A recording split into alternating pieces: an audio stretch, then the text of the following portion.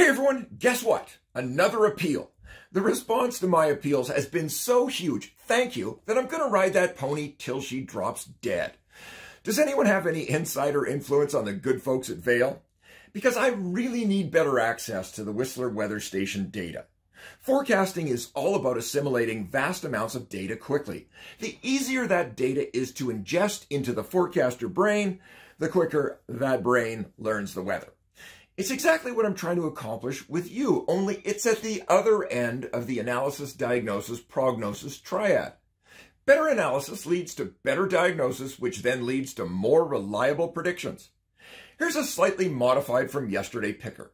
Cool all week at the stake, with snow coming for Thursday and Friday mornings. Here's one way to depict the winds. The speed is on the top, and the arrow describes the direction and two other properties of the flow.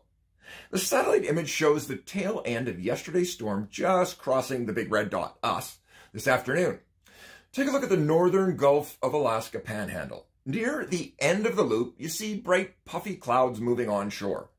That splotchy pattern almost certainly guarantees there are some embedded thunder bumpers. UW provides coarse resolution lightning data from weather satellites. The colored X's are lightning flashes. By the way, does anyone know how Vail monitors lightning at Whistler? If so, again, let me know. I need to know. Windy satellite imagery incorporates a cool cloud morphing process that is pretty damn sweet. These guys are good. Inflow is the answer to this question with 11 kph at Nesters this afternoon. Mild again around the Strait of Georgia. The witch has passed and it's cool northwest flow tonight, tomorrow, and a ridge Wednesday.